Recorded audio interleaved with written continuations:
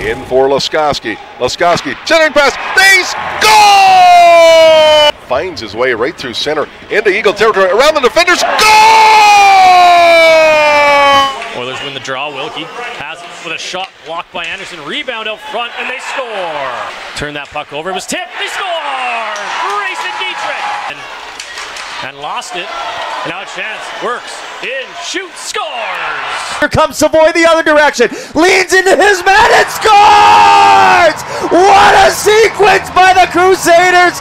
Loose kicked around. They score! in midget AAA as a shot goes in from Beard. Plays it. Dubois on the slot, dragging, still loose. Saint scores. Crucial not to turn the puck over there where you just bounce it off the boards. Now you go. Off the.